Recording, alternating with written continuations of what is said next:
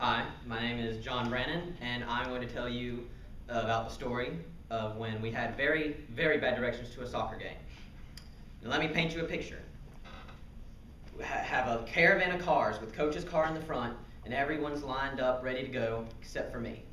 See, at my school, except for football, none of the other sports got to have a bus.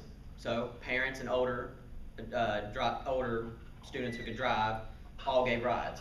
So everyone's ready to go. Coach is like, come on, come on, come on. And I am waiting at the end of the line going, my grandma will be here in one minute, coach. I'm so sorry. Please, please, please.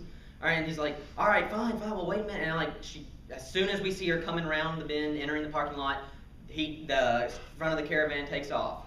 So by the time my grandma gets to the stop and we hop in the car, half of it's already uh, out of the parking lot and they're going down the street. Now, the very first thing our coach told us before we left was if I catch any of y'all speeding, I'm going to take away your driving privileges. And he, as the role model and the coach and the leader, what does he do? Drive 10 miles over the speed limit. And the rest of the caravan follows him in the same way. Now, my grandma, being as a lot of grandmas are, drives on average at least five miles under.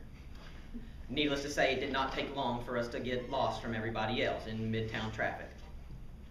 But we're heading down the interstate, and it's about a 30 minute trip. I mean, this isn't just down the road. We got to go way out into the boondocks.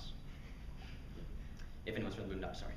Uh, so we finally get to the exit that we believe is the right, the directions tell us is the right one. We're putting all our faith in this little sheet of paper that Coach printed for MapQuest.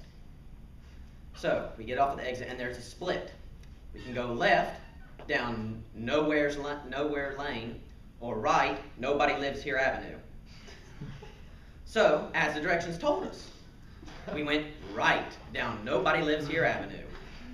So we're going, we're going, we're going. It's 10 minutes or so into this. We haven't seen a single building. All we've seen is trees and more trees. We saw a farm maybe off in the distance. Finally, we find what looks just like an abandoned parking lot. We realize, okay, there's definitely not a school out here. We've got to turn around. We have missed it somehow. So we turn around in this parking lot, and in the back seat of our car, I forgot to mention, sorry, is one of, is one of the starters, like the star starter. So we turn around, we're stopping at every intersection, and we're going, is this it? Nope. Well, what's, what's the name of this road? No, that's not it either. Ah, man, we got to find this. Finally, we get back to the road before we turned off. We go left instead of right this time. We're going, and after about five minutes, we luckily find the school. It's underneath like a mountain, literally. School, mountain. And we're jumping out of the car. I'm saying, thanks, Grandma, we gotta go. We're running, we're running. Everyone's already warmed up. They're taking shots at the net. And coach is telling us, hurry up, guys, hurry up, hurry up, hurry up. So we, we quickly put on our cleats. We're ready to go. We get out there, and thankfully, we win the soccer game. And that, my friends, is the story of the longest, most frustrating trip I've ever had to get to a game.